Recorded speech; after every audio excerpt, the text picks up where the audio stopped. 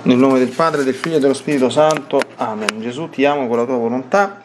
Vieni, divina volontà, a pregare in me, poi offri questa preghiera a te come mia per soddisfare la preghiera di tutte e per dare al Padre la gloria che dovrebbero dargli tutte le creature. Mia Divina Maria, ti amo nella divina volontà, Regina Immacolata, Celeste Padre mia, Madre mia, vengo sulle tue ginocchia materne per abbandonarmi nelle tue braccia, per chiederti con i tuoi spiriti più ardenti che mi ammetta a vivere nel regno della divina volontà Mamma Santa, tu che sei la regina di questo regno, ammettimi a vivere in esso affinché non sia più deserto, ma popolato dai figli tuoi. Perciò, sovrana regina, a te mi affido affinché guidi i miei passi nel regno del volere divino e stretto la tua mano materna guiderai tutto l'essere mio affinché faccia vita perenne nella divina volontà. Tu mi farai da mamma e come a mamma mia ti faccio la consegna della mia volontà perché me la scambi con la divina volontà e così io posso restare sicuro di non uscire dal regno suo. Perciò ti prego che mi illumini attraverso questa meditazione per farmi comprendere sempre più e sempre meglio cosa significa volontà di Dio e come vivere in essa. Ave Maria, piena di grazia, il Signore è con te. Tu sei benedetta fra le donne, benedetto è il frutto del tuo seno, Gesù. Santa Maria, Madre di Dio, prega per noi peccatori, adesso e nell'ora della nostra morte. Amen.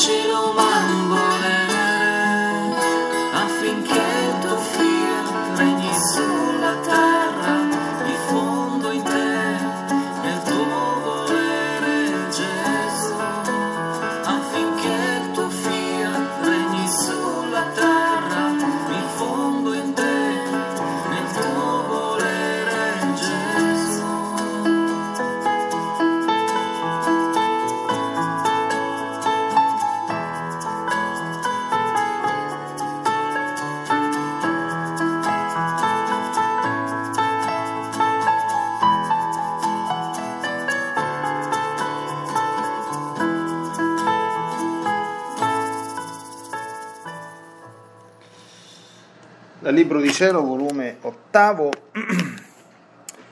16 dicembre 1908, capitolo 54. Passando giorni amarissimi, stavo lamentandomi con nostro Signore dicendogli come crudelmente mi hai lasciato. Mi dicevi di avermi eletto come tua figlia piccola, di dovermi tenere sempre nelle tue braccia, e adesso mi hai gettato per terra e invece di piccola figlia Vedo che mi hai cambiato in piccola martire, ma per quanto piccolo il martirio, altrettanto crudele e duro, amaro ed intenso. Mentre ciò dicevo, si è mosso nel mio interno e mi ha detto, figlia mia, tu ti sbagli, non è mia volontà di renderti piccola martire, ma grande martire. Se ti do la forza di sostenere con pazienza e rassegnazione la mia privazione, che è la, più, che è la cosa più dolorosa, più amara che trovarsi possa.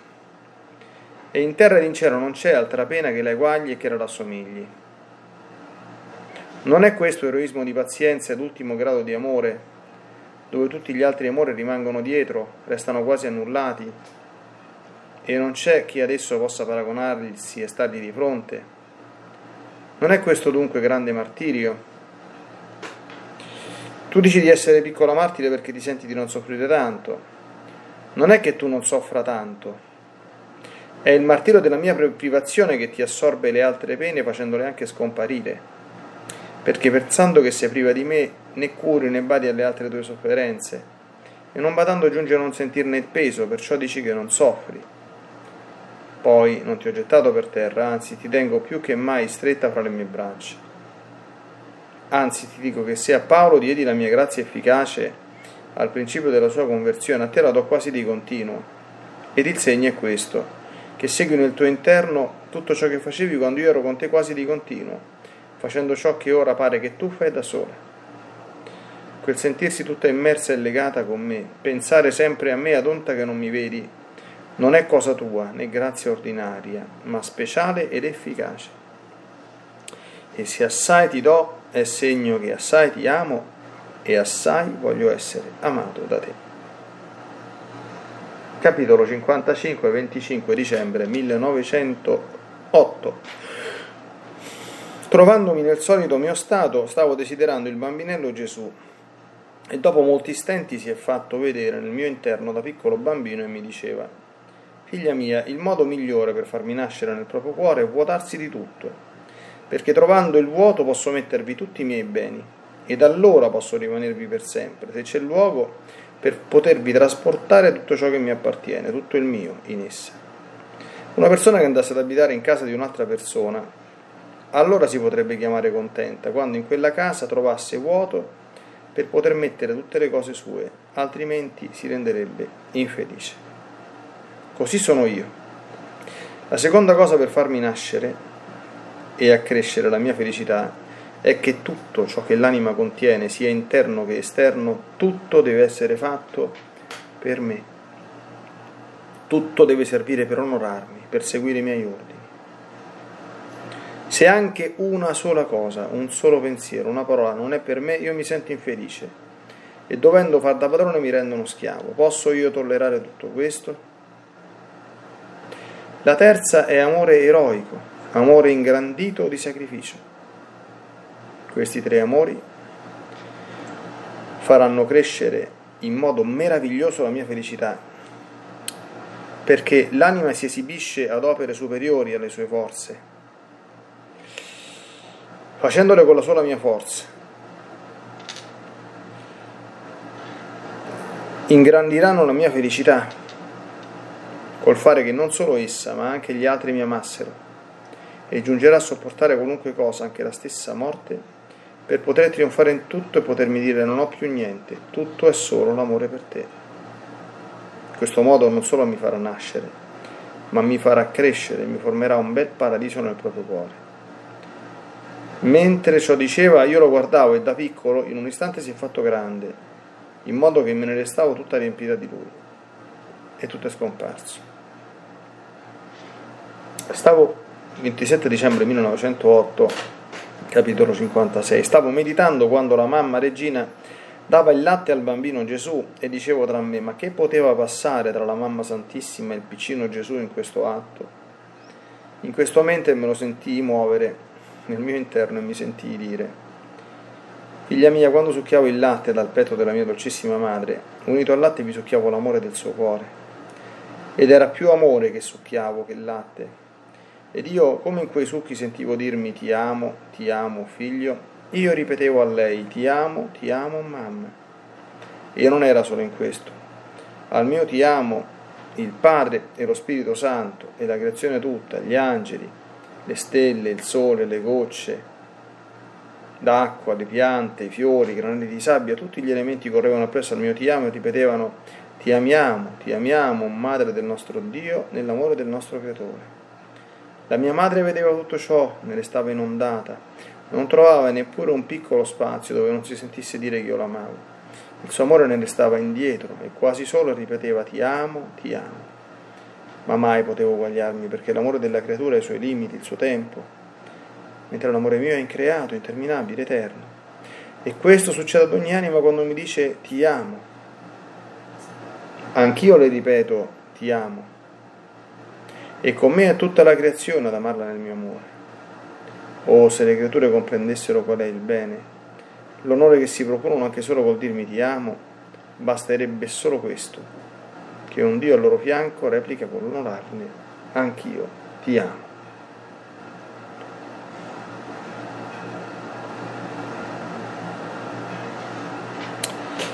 Siamo alla vigilia di Natale, abbiamo avuto la grazia anche, la Dio incidenza di meditare proprio un passaggio eh, che Gesù ha fatto conoscere a Luisa proprio il 25 dicembre del 1908, quindi siamo in pieno clima natalizio eh, perché appunto il capitolo centrale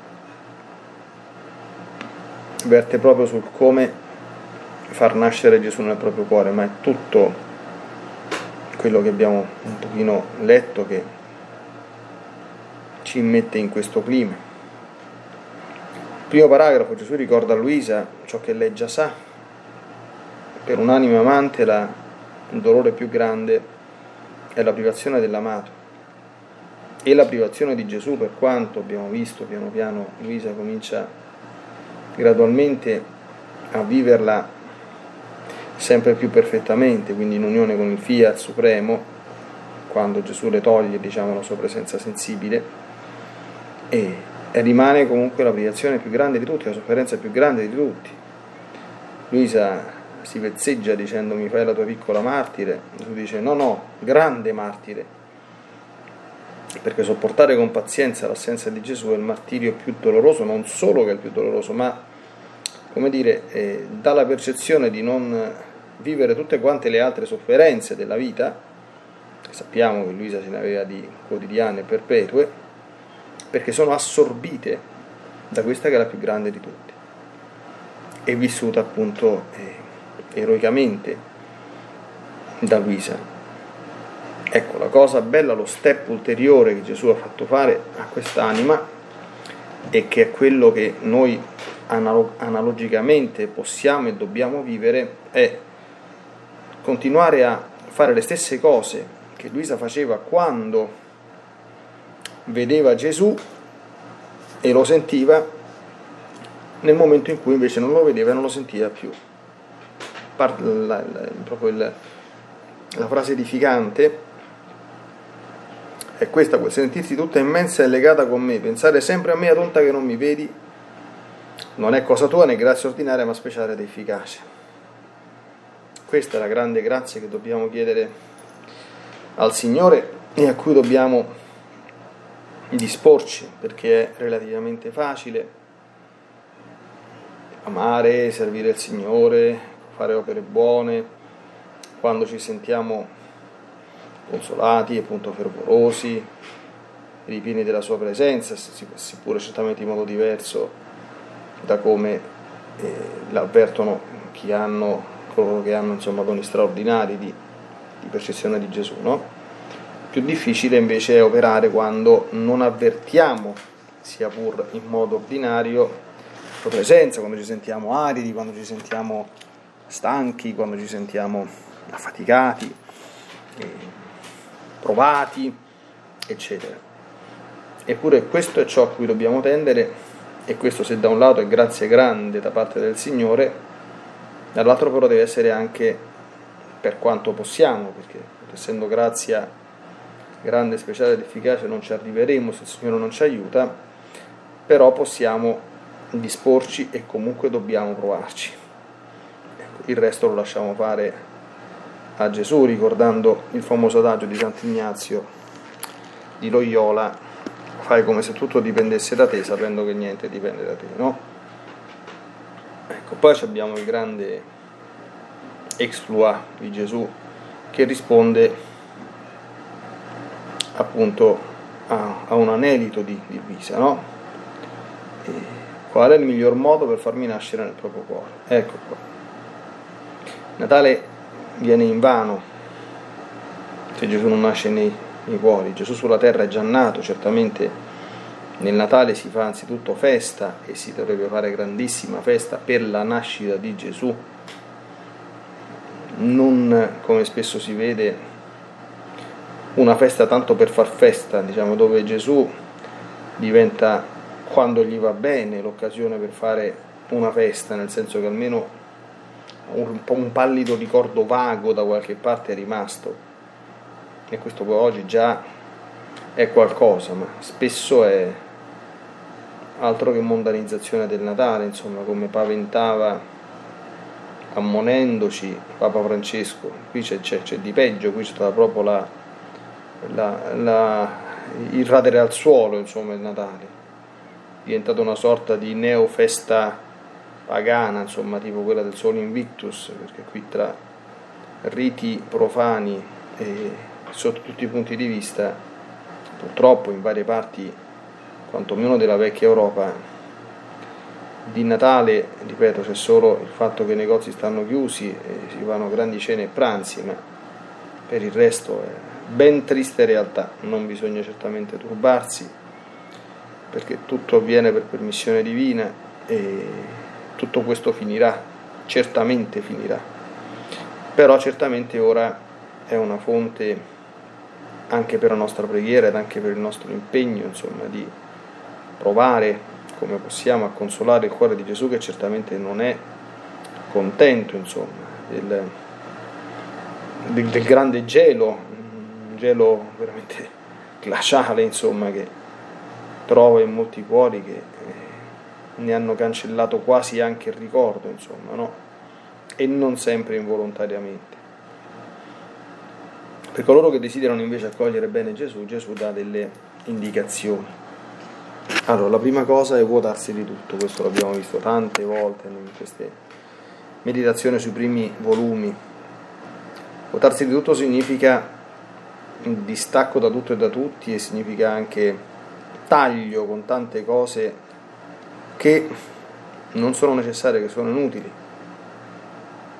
Gesù nasce dove trova un ambiente vuoto. Non è un problema che quell'ambiente non sia eccezionale, i nostri cuori purtroppo non sono molto dissimili dalla stalla di Betlemme, sono poco ospitali, maleodoranti, mal disposti. Questo non fa niente, poi ci pensa Gesù con la sua presenza a sistemare le cose.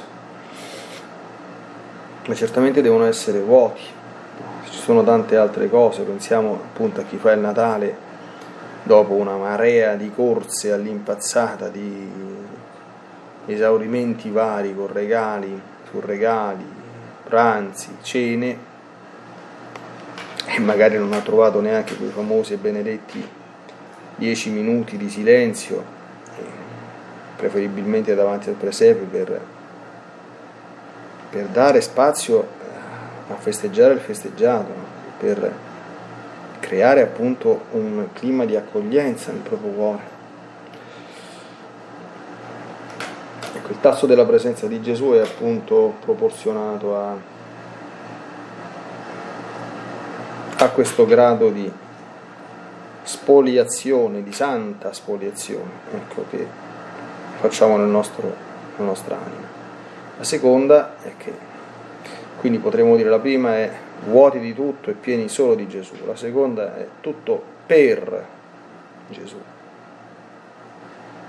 Tutto deve essere fatto per me, dice il Signore, tutto deve servire per onorarmi, per seguire i miei ordini, fino a diventare veramente in tutto tutto, incluso una sola cosa, escluso un solo pensiero, inclusa una sola parola, tutto per Lui. E infine l'eroismo nell'amore. Quindi tutto di Gesù, per Gesù e, e tutto ciò che è grande per Gesù.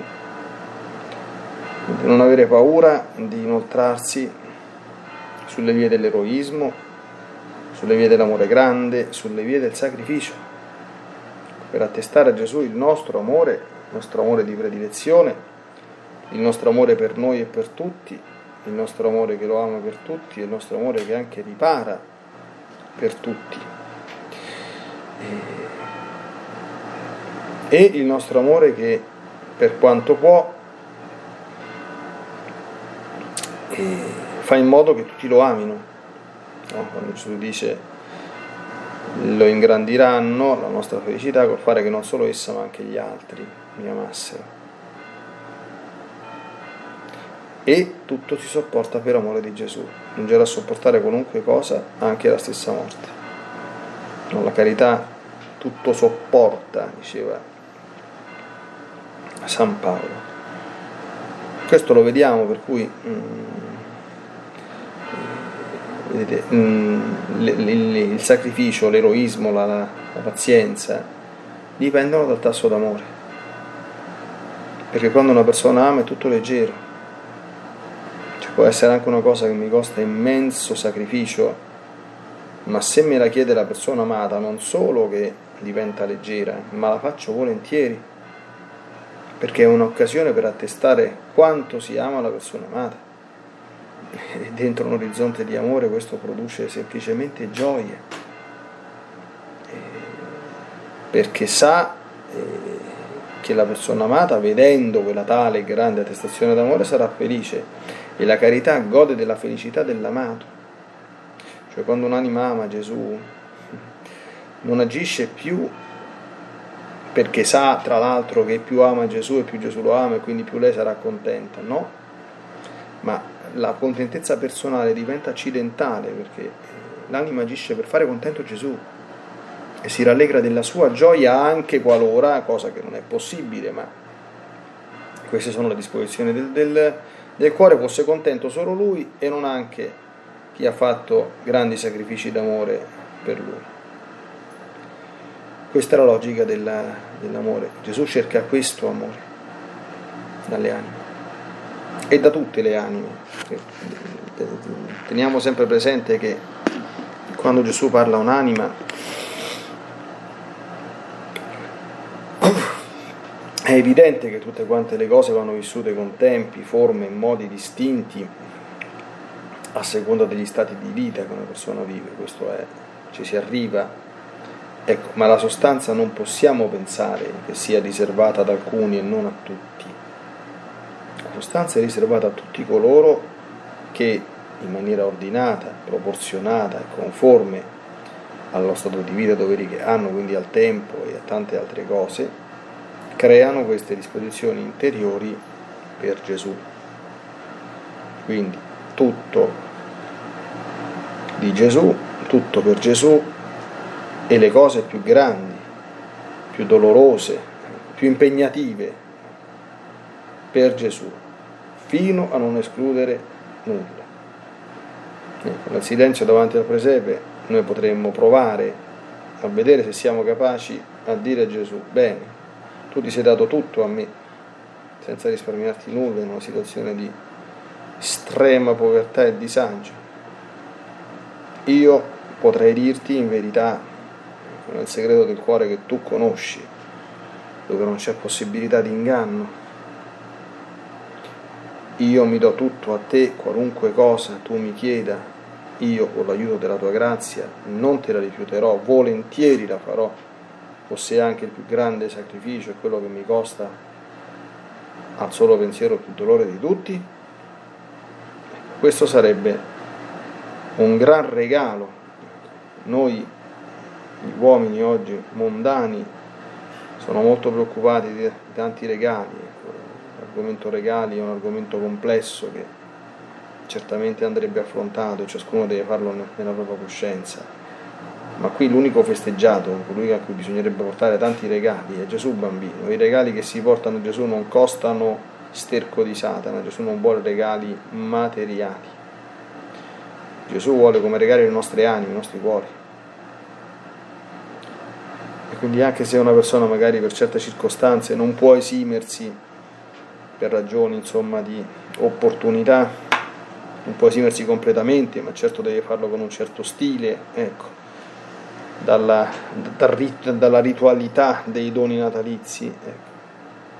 quello che certamente può coscienza dovrebbe sentire di fare, fare il regalo più bello e più grande al festeggiato con la F maiuscola, che è appunto Gesù e che appunto vuole le nostre anime, nei nostri cuori.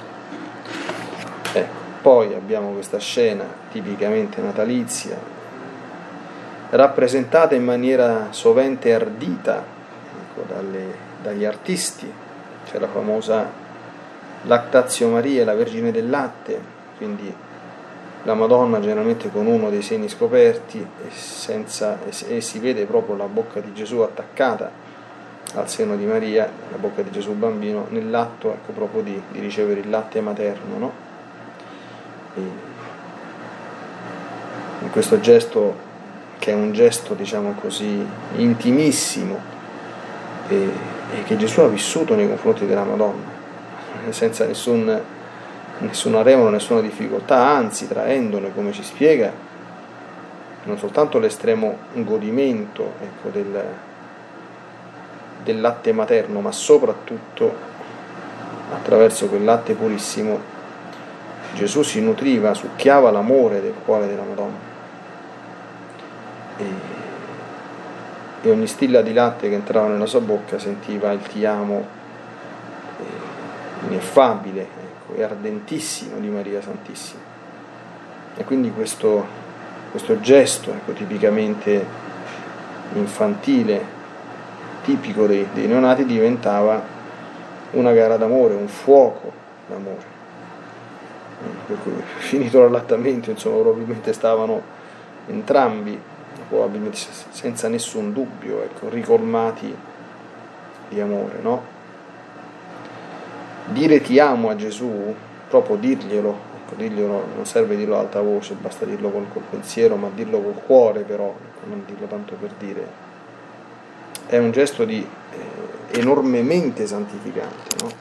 La vita nella, nella divina volontà, tante volte non tante volte, girare, i giri nella divina volontà si fanno moltiplicando i ti amo e andando a cercare appunto gli atti della divina volontà perché i nostri ti amo possano tornare ipermoltiplicati, insomma, il nostro Signore li possa sentire non soltanto dalla nostra anima, ma dalla creazione, dalle cose, dalle realtà, addirittura dai cuori di quelli che ci odiano, quindi è un moltiplicare nell'amore per amore i ti amo e moltiplicare anche la ricezione degli innumerevoli ti amo di Dio.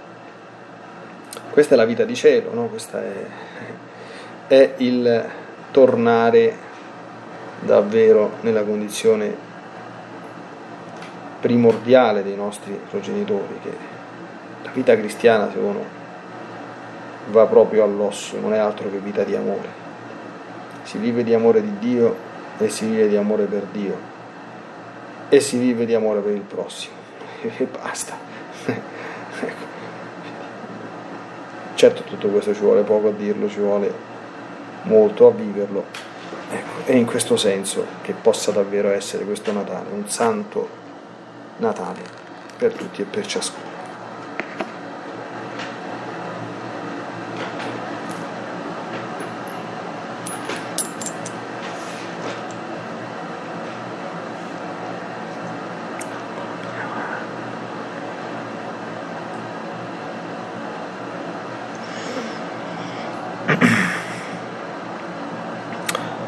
Bene, Santa Vergine Maria, ci, ci rinchiudiamo tutti nel tuo cuore per apprendere da te l'arte di accogliere tutto l'amore, sapendolo riconoscere che Gesù ci offre e di saperlo in tutto ricambiare, ecco, dando questa gioia a Gesù e anche e soprattutto questo grandissimo bene, questo grandissimo onore a ciascuno di noi, ripetendo e moltiplicando i nostri ti amo, a Lui e anche a te, che certamente, come dice la Chiesa in maniera dipendente e subordinata, ma non sei certamente eh, indegna del nostro amore, anzi, ecco, sei degna profondamente, ecco, in quanto nostra madre, nostra maestra, ma anche l'unica creatura insomma, che ha fatto vivere ininterrottamente dal concepimento fino all'assunzione, il dono della divina volontà. Ecco, colei che ogni volta che un figlio ti si rivolge, ecco, sempre ci porti sempre più e sempre meglio a Gesù, non solo non ostacolando, ma facilitando al massimo il nostro rapporto con Lui. Nella divina volontà, nel nome del Padre, del Figlio e dello Spirito Santo. Amen. Ti benedico per aiutarti, ti benedico per difenderti, ti benedico per perdonarti, ti benedico per liberarti da ogni male, ti benedico per consolarti, ti benedico per farti santo, ti benedico dunque nella divina volontà, nel nome del Padre, del Figlio e dello Spirito Santo. Amen. Fiat Ave Maria.